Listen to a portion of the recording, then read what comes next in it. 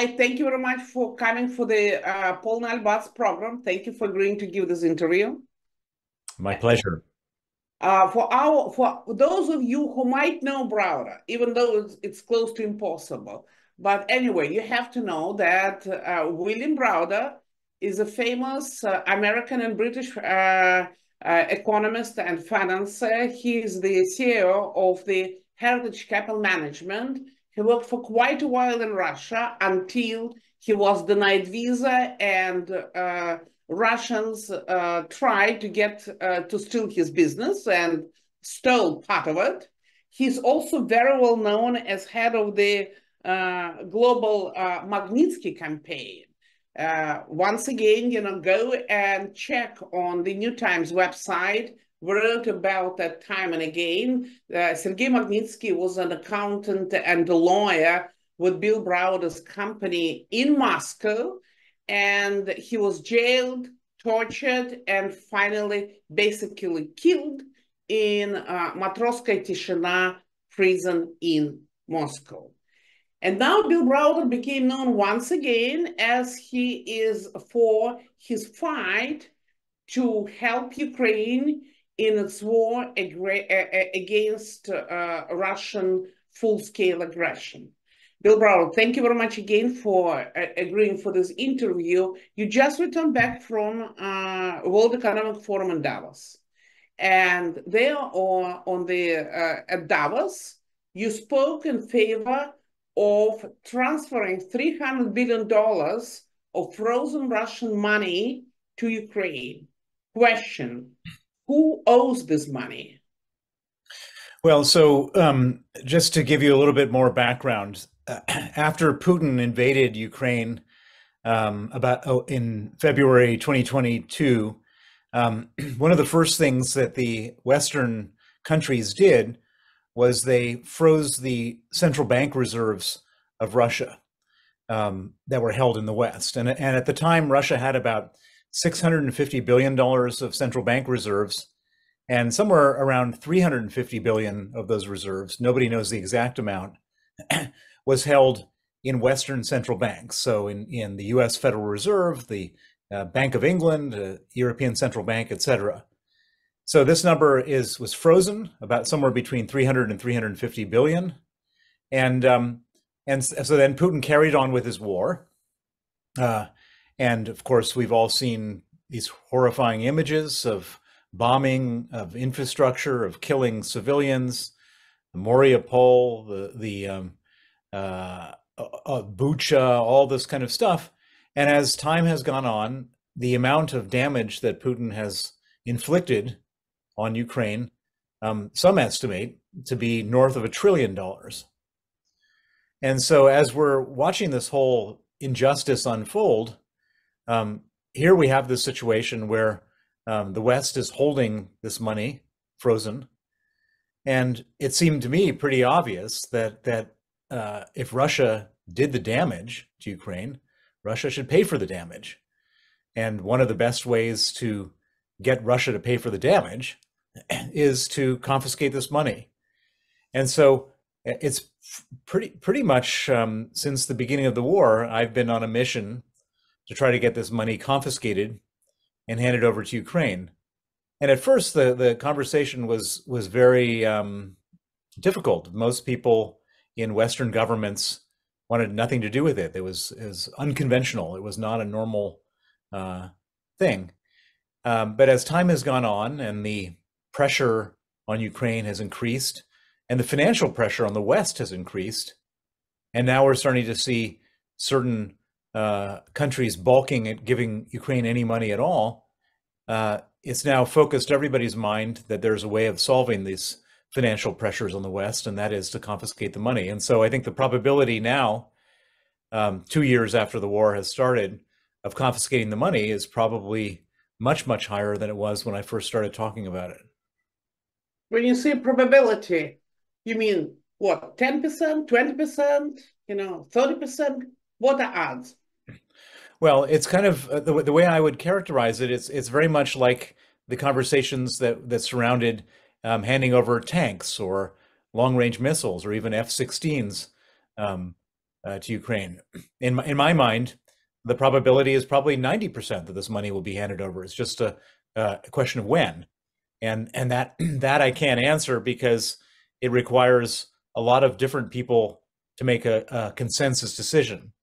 This is a, um, uh, a decision that, can't be made by just one country. It can't be the United States confiscates the money and Europe doesn't, or um, the UK does and and Japan doesn't. Every everybody has to do it together, because if they don't do it together, then it creates a risk that people uh, will view certain countries as being more risky to hold money in um, than other countries. If everybody does it together, then nobody can be more risky than anyone else because everyone has acted in unison.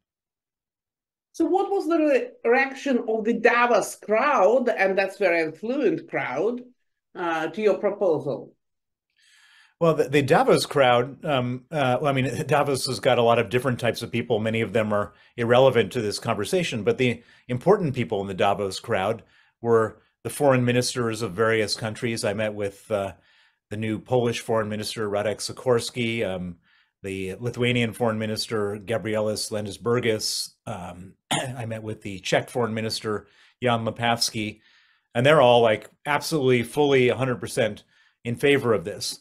Um, and then if you talk to just regular people um, in the Davos crowd, um, it's kind of an obvious thing. why, why would why would anyone be against confiscating Putin's money to pay for the damage Putin did?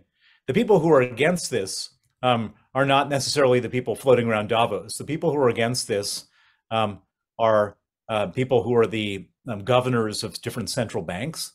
In their in their mind, uh, it's it's a risky thing to do because it hasn't been done before and and their job is to have currency stability and interest rate and inflate and price stability and so anything that could anything that's sort of out uh, eccentric out of the ordinary um, novel is something that they don't really want to do um, and then you have the the problem uh, within the European Union um, the European Union is is of course a um, collection of countries there's 27 member states and this is the kind of decision that would re- require um, unanimity within the European Union. You'd have to have each country agreeing to do it.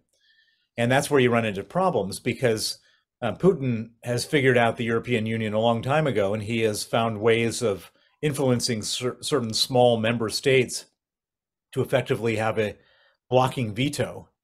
And um, he's been very successful at um, at um, influencing Viktor Orban of Hungary, and more recently, um, he's had a little um, windfall with the election of uh, Fico, the prime minister of Slovakia, who's also pro-Putin, anti-Ukraine, and so you end up in a situation in Europe where rational things don't happen. What happens is they're all sort of focused with between themselves and um, Europe is probably the the complicating factor in any discussion about confiscating the money.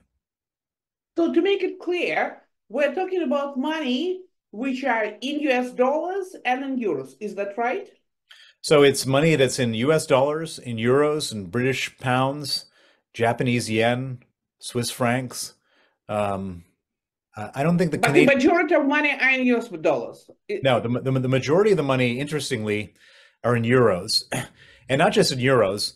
Um, the majority of the money is held in Euroclear. Euroclear is a place is an is a financial institution which basically settles um, bond tra- transactions. It, if you own a bond, a European bond, um, it will be held in custody at Euroclear, and they're the ones who um, basically offer the custody and offer the you know the payments. And so Euroclear is located in Belgium, and as far as I'm aware, somewhere somewhere around 220 billion dollars worth of euros.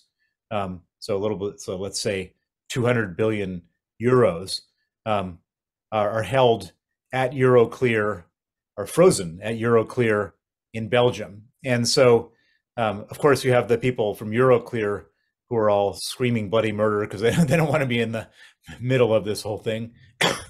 and then you also have um, the Belgians, which Belgium is not known for its, you know, sort of leadership and and um, outspoken foreign policy, um, and so anything that happens in in um, in Belgium and happens at Euroclear is, is pretty much going to have to happen um, by an EU decision. And of course, as I mentioned, the EU has got this this framework of decision dysfunctional decision making because of these hijackers like Hungary and Slovakia. So that that's where the the problem lies. Now it's it may be it it's sort of sounds worse than it is. We we've seen these types of things before. Um, you know, the Germans, for example, never wanted to provide any weapons at all. In fact, the Germans were so averse to weapons for Ukraine that at one of the very first arms shipments from the UK to Ukraine when the war started, uh, the Germans wouldn't even allow the um, British uh, military transport to go over German airspace. And then eventually Germany was providing Leopard tanks and so on. And so uh, it's it's a um, it's really hard to predict the timing and and the intricacies of this negotiation. And I'm not in the room uh, watching it, but what I can say is that there's the, the main thing that's going to drive this process is financial necessity. Um, there's no reason why uh, European taxpayers and British taxpayers and American taxpayers should uh, dig into their own pockets before we confiscate the money that belongs to Putin. Okay, but what are the legal grounds for such a confiscation? Well, there, there's there's two different legal issues here, all right, C- conflicting legal issues. The Russians would claim that all of their money is protected because the money belongs to the state, and the state is uh, whatever assets that belong to the state are protected by a legal concept called sovereign immunity. So, for example, if you have an embassy in a country, um, that's the sovereign territory of Russia, even if it's in a foreign country, and you can't do anything with that embassy. The same principle, legal principle, applies to uh, Russian central bank reserves. And so the Russians are sort of folding their arms and saying, well, you can't touch it. We're protected by law. Now, on the other side, there's another law which says that if one in if one country in the world um, inflicts damage to another country in the world, um, then the country inflicting the damage owes money to the country that was the victim through something called the law and countermeasures. And um, and there's a very clear legal case in which Ukraine has has the right to make a, a claim against Russia using the law and countermeasures. And so this is where the lawyers get involved. So the lawyers say, if you so if you're a prime minister of a country, let's say you're the British prime minister, and you consult your legal advisor, and you say, um, "Can we seize this money?" Your legal advisor would say, "No, of course not. It's it's um, we can't seize it because of of um, sovereign immunity." However, if you ask a different question as the prime minister of the UK, you say, um, "How do we seize this money?" Well, the lawyer would say, "Well." the way we seize the money is we use the law and countermeasures. Um, and then the question is, which law prevails, law and countermeasures or, or sovereign immunity? And the best way around be specific about these law and countermeasures. What do you mean so, exactly? So the law and countermeasures means that Ukraine has the legal right to make to to confiscate the money. It's it's as simple as that. It's it's an existing international legal concept, and every every legal scholar who's looked at this will point to the law and countermeasures as a way in which it can be done. So then, then the question is, well, which law prevails? Which law do you count on? Sovereign immunity or countermeasures? And and here's where it gets interesting, which which is that there there are many times in life where there are two different legal rights that conflict, and then in those situations, one of two things has to happen either a court has to make a decision to say that the one law prevails over the other, or if the there's um, confusion or arbitrariness about conflicting laws, then you need a, new legal framework in which to define which law is more important. And so, for example, right now, literally as we speak today, the Senate Foreign Relations Committee is meeting to have what they call the markup, which is which is where they evaluate a proposed law. And the markup that they're doing is on a law called the REPO Act, R E P O. And the REPO Act is a specific piece of legislation um, drawn up specifically to address the point of confiscating uh, Russian assets that are held in the United States.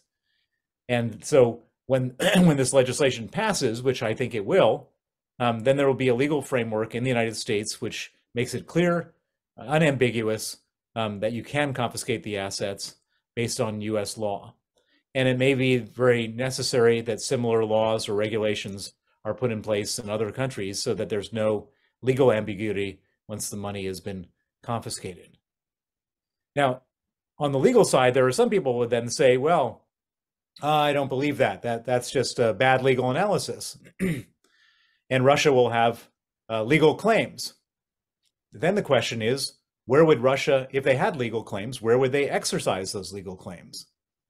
Um, Russia couldn't exercise those legal claims at the International Court of Justice because Russia has refused to be a part of that um, mechanism. So then it doesn't leave many opportunities other than Russia going to the national courts in the countries where the money has been confiscated. But if in those countries um, the legal uh, framework, the laws have been passed to make it legal, then Russia doesn't have a claim at all. And so I don't think that there is um, such a complicated legal route to doing this. I think this is more of a political issue than a legal issue. And my prediction is that it will happen. Russian central bank, at least on paper, is an independent entity. So there will be another collision. You know, uh, uh, uh, attorneys on the Russian side would say, you know, this is central bank money. Central bank is independent from the Russian state. It is this Russian state who started the war, not the central bank of Russia. Well, they can make that claim, let's say, in a New York court in the Southern District of New York, and let's see how the judge how the judge looks at it. I don't think that that they would have a very favorable um, hearing, but um, you know, I, am sure that they'll make all sorts of uh, legal claims once this happens, and so it's got to be watertight before it's put in place. But that's what that's why it hasn't happened already. But aren't you concerned that these might create a very I would say, unfortunate precedent that some state today, you know, you are talking, you know, on the side of good people, but say tomorrow bad people from the bad state will come and say, you know, I want your money. I'm going to confiscate this money. Well, this is the this the the very logical reason why people don't keep their money in China. They don't keep their money in Iran. Uh, they don't keep their money in Saudi Arabia because these are all countries that will confiscate your money um, very easily. It's not as if the U.S. Federal Reserve keeps rubles on deposit at the Russian at the Central Bank of Russia, and so, but there there is a, a very important part of your question, which is that it will have a deterrent effect on other countries, because imagine that you're China, you've just seen Russia lose their half of their central bank reserves because of this war that they started. And China is a country that keeps a lot of hard currency in foreign countries. Um, if you were China and you saw this happening, would you want to go and invade Taiwan, knowing that there is a real chance that you could lose a significant portion of your foreign exchange reserves?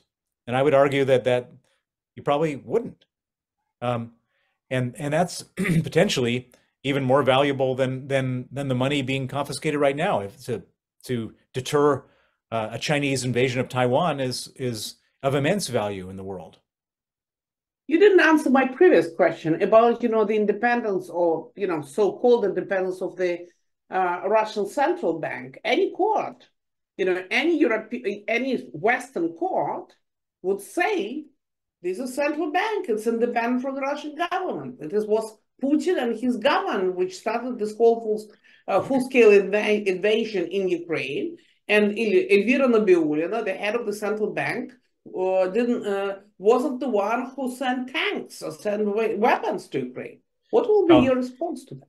My, my response is that that that, that is a um, a distinction that's not even worth making. The Russian central bank is fully under the control of Vladimir Putin. It's 100% owned by the Russian state.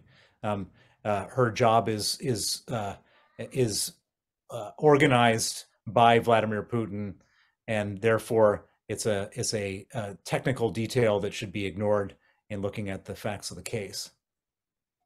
The other day, you know, I had here at this uh, at this channel a conversation with two Russian uh, economists. I assume, you know, at least one of them you know very well, Sergei Alexashenko, one of those central bankers in, in the Yeltsin's uh, Russia. And first he said that there are 260 billion in uh, so-called frozen money uh, in, in, US dollars so far. But that's a separate issue about, you know, the amount of money which got frozen after the war started.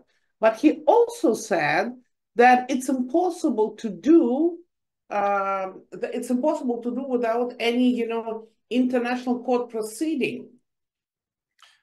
Um, I mean, I, I don't think that that's that's the case. Uh, I mean, I think that again, this is ultimately not a legal issue. This is a political issue.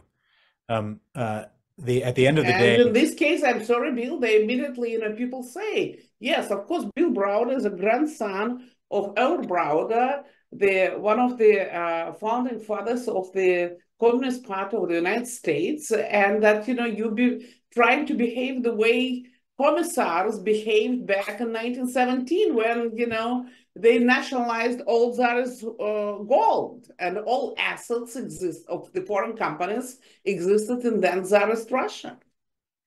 Well, pe people can make whatever. Um, I mean, I, have been called many names um, in many different contexts by by people from Russia.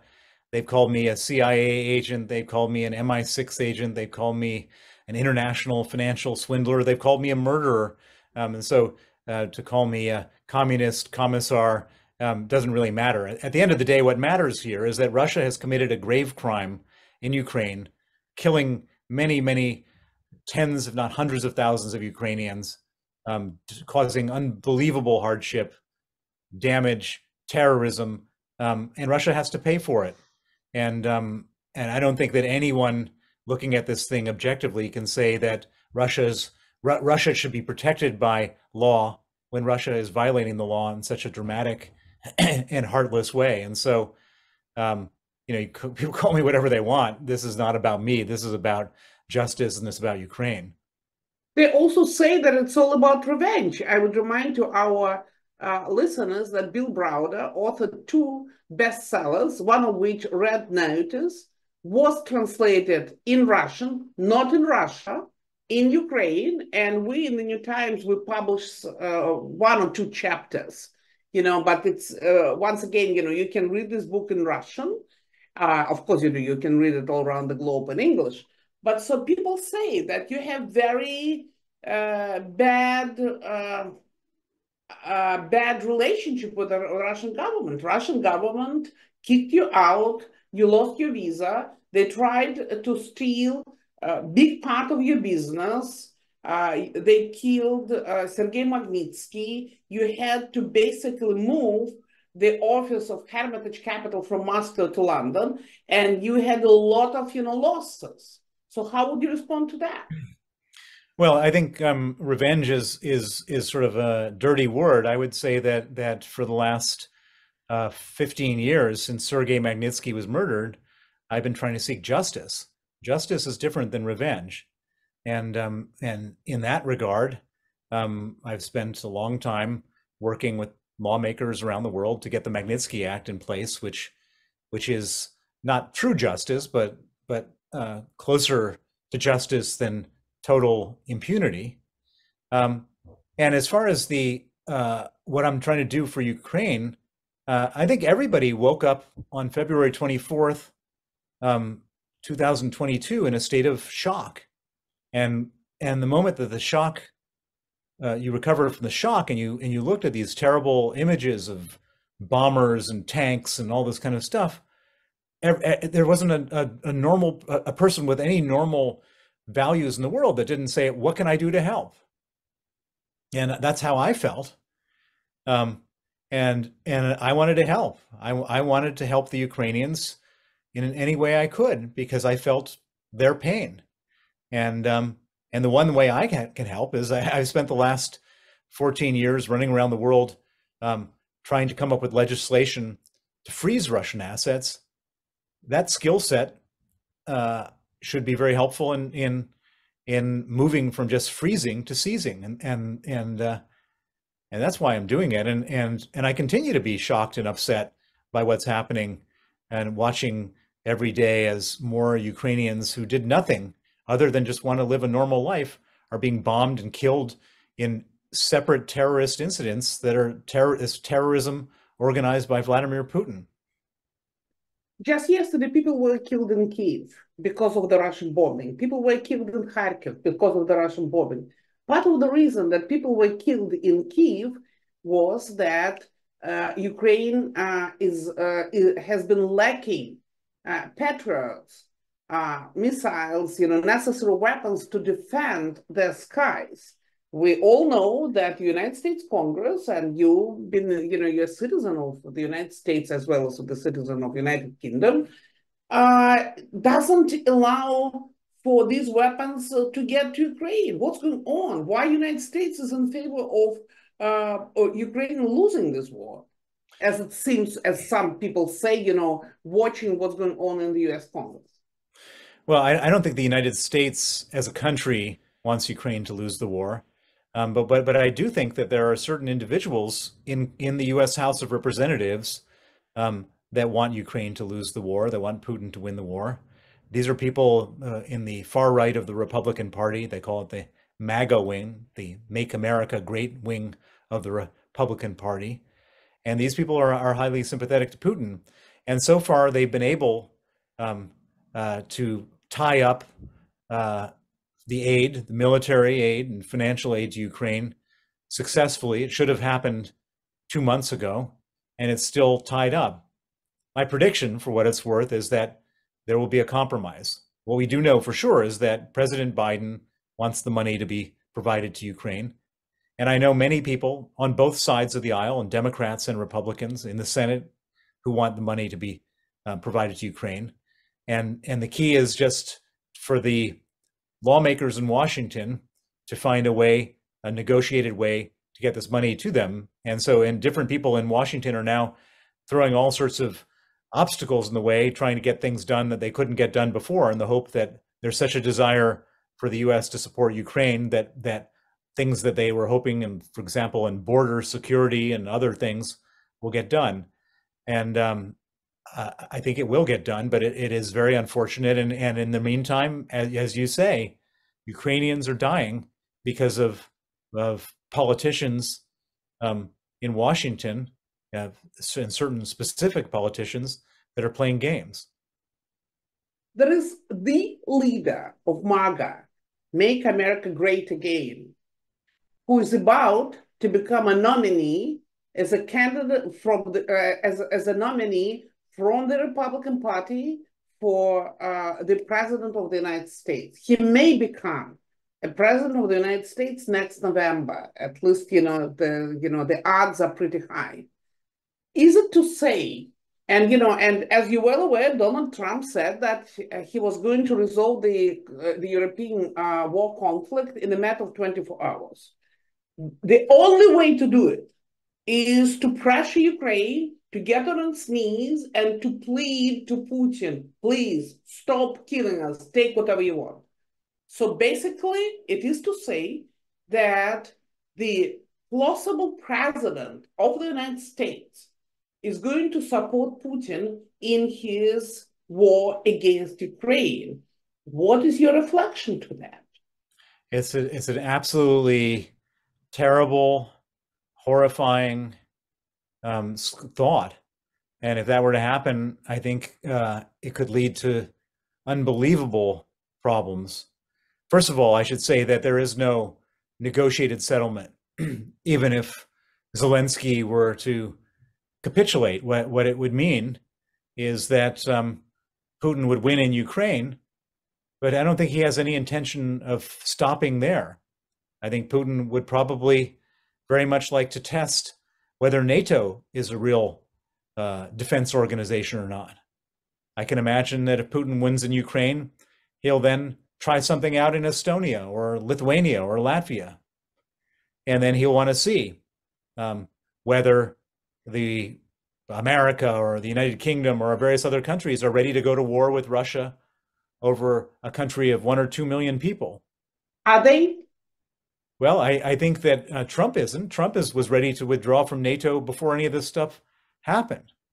And then the question is, would anyone in Europe um, want to put their own young men in harm's way to die um, uh, for a NATO treaty? And I think that Putin's fantasy would be that NATO falls apart. And if that were to happen, um, then he could take whatever he wants. And and that's why this support for Ukraine is so vital right now. Then, you know, it's really, you know, perplexing to people like me to watch what's happening here in the United States uh, Congress. And one of the school of thought is that that uh, in fact, United States of America, you know, some uh, important people in U.S. government, they would they the reason why they don't push for giving Ukrainians, you know, F-16 to close the skies or to give them more patriots or to give an attack and so that Ukraine can defend it, uh, itself from uh, Russian drones and missiles located in Crimea Peninsula, and etc., etc., which also, of course, you know, Crimea Peninsula was occupied by Putin back in 2014.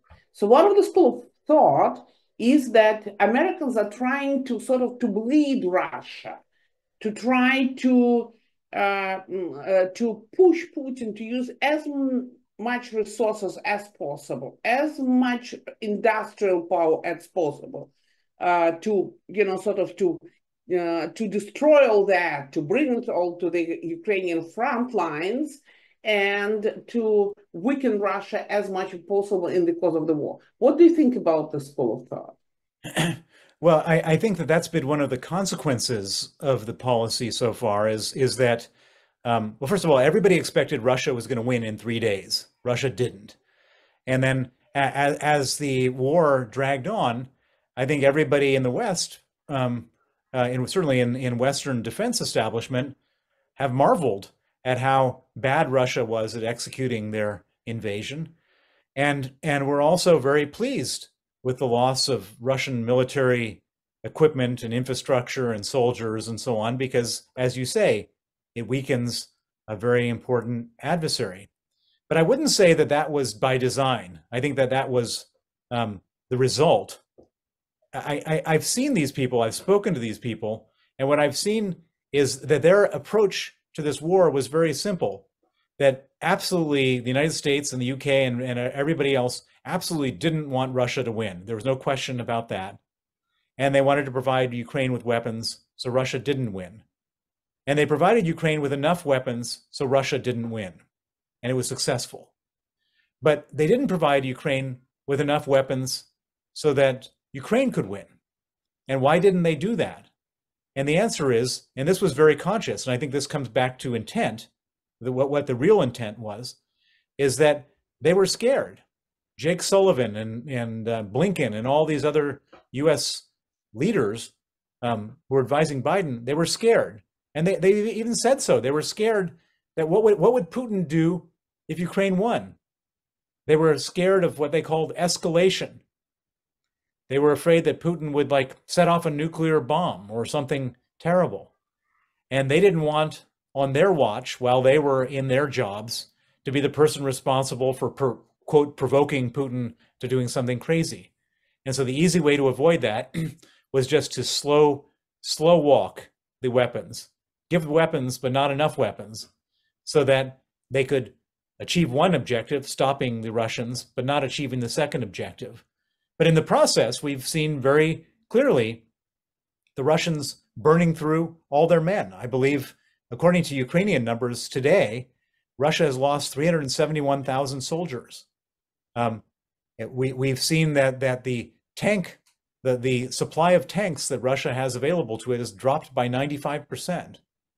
Um, all sorts of other uh, parts of the military uh, infrastructure have been uh, destroyed, and and we and we know that for sure because the Russian government is now um, effectively begging North Korea and Iran for weapons, um, and and so I, I don't I don't think that, that that the West was as cynical as as you presented it. I think it was it was more a result of that.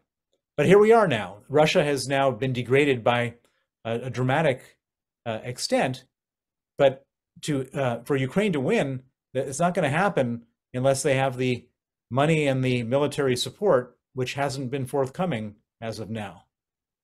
Your opponents will say, uh, one, Putin couldn't care less how many men uh, died or are going to die. So yep. yes, you know, there are more than at least 300,000 people who are already dead or wounded and such. That's number one. Number two, Putin managed to buy the loyalty of its of mothers and wives and sisters of those who are serving as a cannon fodder at the at the Ukrainian front with money and with very big money. These people are making, you know, 10 times what they were making monthly or yearly before the war. So uh, the war has become some sort of a social lift for the, the poorest of the poorest in Russia. And let's give him a credit. Putin is smart. Number two. Number three, people will tell you that Putin has managed to back the Soviet military industrial complex back on track. And a lot of supplies, uh, those chips, for instance, who are so necessary to produce, you know, Kalibrs, you know, Iskanders and other uh, uh, Russian missiles, which kill people in Ukraine as we speak, these parts are coming from the United States of America, from Germany, and so it goes through the th third uh, uh, countries, and of course, you know, China is involved. So there are, you know, people would say, look, you know, Putin is uh, using uh, the Western greed and the Western weakness and its inability to put uh, you know morals before back, and that's why he's winning. Isn't that true? Well, first of all, let, let, me let me challenge the last words you said. He's not winning. He's just not. He, he, he there's a stalemate. He's definitely not winning. Um, but but a lot of those twenty percent of Ukrainian territory are occupied. That's that, that, based on his his objectives since the start of this war. That is not winning. He, he is he's absolutely not winning, and I don't think anyone can categorize it as a win. But you're right about all these things. So you're right that Putin doesn't care about how many men he loses. Um, I think you're partially right about him buying off um, the families, but I don't think that that's entirely the case. I think that that um, uh, you know the, the the the mothers in the Soviet Union were the ones who stopped the Afghan war from from happening. And, Precisely because Soviets didn't care to give them a buck. Well, yeah, but there was only 15,000 dead there. We're now talking about 20 times as much here. And and bucks or no bucks, you know, there's a lot of a lot of mothers, wives, children, friends. Um, I mean, it's it's this is. I, I don't think that that that that that pro properly explains it. I think that what explains the lack of civil unrest in Russia right now is the fact that everybody is petrified. Putin uses the carrot, which you've just described very articulately, and he uses the stick, which is that if anyone peeps a word, then they end up going to jail or dying. And we've seen, of course, many people we know sitting in jail in Russia. And so I think that Putin is running it not not with a carrot, but he's I think it's a total repressive regime. And that's what keeps order in place so far. Um, and then and then as in terms of of uh, can he carry on? I think he can carry on for a long time. And the one thing you didn't mention um, is oil that people continue to buy Russian oil. The oil continues to fund um, the purchase of weapons and, and the support of the military complex. And as long as Russia can sell its oil, um, Russia will have money to carry on this war into perpetuity. And I think that's the real problem is that if, if we want to st stop this war, we have to starve Putin of the financial resources. And at the moment, we're too greedy and too scared to do an oil embargo, Russian oil embargo. And that would actually have the effect that we were looking for. And so we're stuck. And, and in the meantime, Putin carries on. Time is on his side. As you say, he doesn't care about dead bodies and he's got money flowing in. And time isn't on our side because we have Donald Trump looming in the future. We have the Hungarians blocking EU aid packages. We have the MAGA uh, right wing blocking US aid packages. And we live in democracies where things can change from month to month and year to year. We have a bunch of different elections coming up. We have a European election this year. We have a British election. We have, of course, the US election. And there could be a completely different attitude next year, this year. And so Putin is just buying time and and and and he doesn't feel the pain that everyone else feels. And so the only question is, um, is there going to be a moment when the pressure cooker in Russia overflows that people where that where where the um, where people just stop caring, with with that that they stop caring about their fear because they're all the, the dying on the front is is as likely as dying in a Russian prison. and what, what I would say is is that at any moment something could happen or it may never happen. Um, but uh, Putin has made a, a, life miserable for many, many, many people in Russia, and and you can see little little signs of this in in Ufa. Um, uh, uh, a couple days ago, all sorts of people rose up, and uh, you mean in the in Bashkortostan? It wasn't exactly uh, in Bashkortostan. It's true. It's also we can see that you know uh, there are you know these funny funny elections, presidential elections are coming, and people are standing in line to put their signature in favor of somebody who is speaking against the war. He might not be know, a real opponent to Putin, but he's still speaking against the war, and was all across the country. But uh, there is a, unfortunately, you know, some reality, and the reality is that Ukraine was a country of 44 million before the start of this awful war, and now it's a country of 27 million, and maybe even less and they're losing, they don't have enough manpower. And that's what Russians are going to tell you. Ukrainian um, uh, losing doesn't have enough manpower, doesn't have enough resources, it cannot produce its own weapons. You know, it's you know it has a three uh, thirty billion dollars budget deficit, deficit, and so on and so it goes. And Russia, Putin keeps destroying its infrastructure, its cities, its elevators. The East industry, as you're well aware, in the East, totally destroyed. Uh, in that respect, Ukraine is totally de-industrialized country. So all, all, all, that's true. But the one thing I should tell you, and, and I think you know this, is that um, don't ever count the Ukrainians out. And, and there's a very simple reason for that, because if, if they were to lose, if Ukraine were to lose, what happens? Bucha happens. You know, uh, women gang raped, men having their testicles cut off, castration, children being kidnapped. And so, if you're faced with that as a reality, um, you're going to fight and you're going to fight industriously and you're going to fight in every possible way because the uh, alternative is so horrifying. A Russian occupation is so unbelievably bad. And, and so the Ukrainians whether they get the money or not, will continue fighting. And the Ukrainians are very industrious, as we saw at the very beginning of the war, where they didn't have anything. And so um, I think it's it's a, a very um, big big statement to think that that um, Putin can win. What he can do is create a, a an ugly frozen conflict, and um, and that's effectively what we have right now.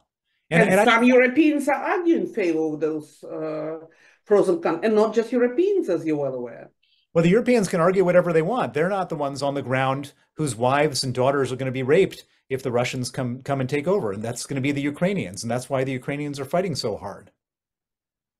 Okay, so you don't think that you know any because just recently uh, we saw that Putin or some people in his administration uh, have been sending envoys uh, to different, uh, to the United States and to Great Britain, to other European countries, arguing in favor of ceasefire, arguing that it's in the interest of Ukraine to get a ceasefire now because three months from now, I'm, this is a quote because one of those envoys met with me personally in New York City. And the argument was if Zelensky refuses to go for the ceasefire now, then in three months it, it's going to be worse, and in six months it's going to be much worse. And we assume that by saying much worse, they mean uh, occupation of Kharkiv and destroying Odessa. Well, so uh, I, I, I think this whole this whole um, ceasefire diplomacy is just a complete trick. I, I don't think that there's Putin has any intention of a ceasefire. I don't think he has any intention of a compromise.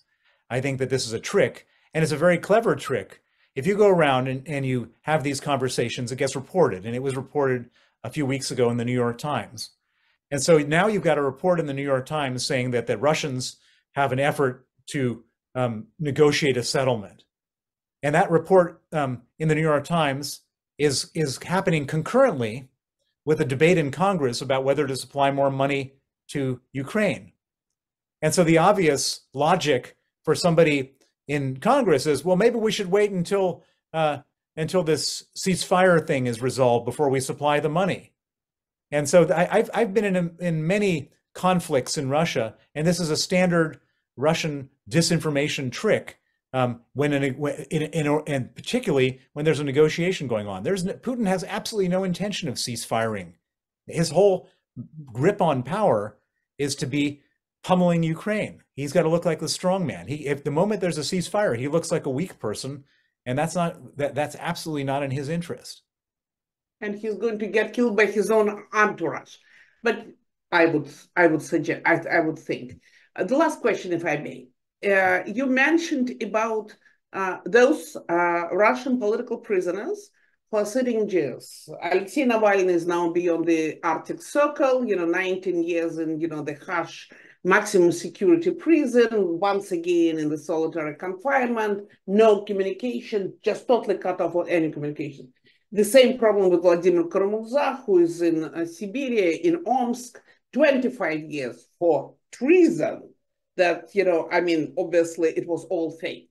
So Ilya Yashin and many others. I know that you're trying to uh, argue, the, uh, you are trying to help, uh, uh at least, you know, Vladimir Kara-Murza. Vladimir Kara-Murza was instrumental, as far as I understand, in promoting Magnitsky Act. He was an adherent of this act.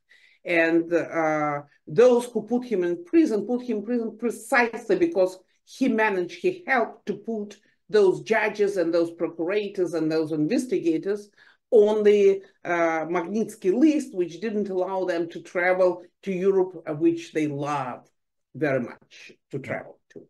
Yeah. Now, what are the possibilities to uh, to get Vladimir Kara-Murza out? why we don't see Americans or British goodwill people, human rights saying, let these people go? Well, I mean, I, this is one of my main. This is this is, I would say, my most important objective and priority. Vladimir is a close friend, and not just Vladimir, but the other ones, Ilya Yashin and and uh, all, all of the political prisoners.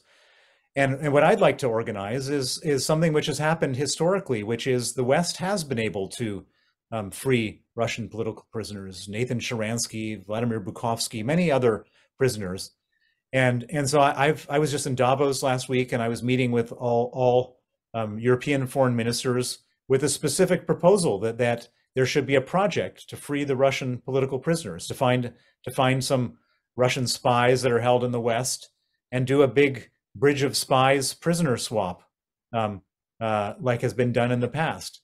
I think that um, uh, for most of the political prisoners, I don't think Putin really cares that much. I think that that I mean he he doesn't like them, but I think that uh, he'd probably want to get back some of his own spies, and so that's my hope and my objective, and and something that I'm working on, and and I'm hoping to make more progress on that. It's it's a hard. I think that I think this is harder than than uh, than the 300 billion I think the 300 billion is an easier uh, easier project than getting the political prisoners free, but we it's it's really important and and and I don't think that uh, Vladimir Kara-Murza will survive um, uh, 25 years. I don't think he'll even survive five years, and so it's urgent and important that we get him out.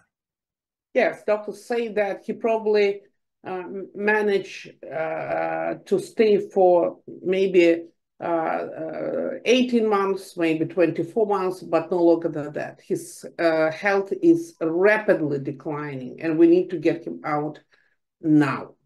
Yeah.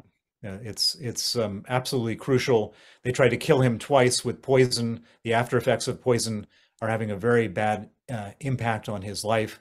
He's sitting in solitary confinement in Omsk in what they call strict regime. He's able to get one hour of exercise a day.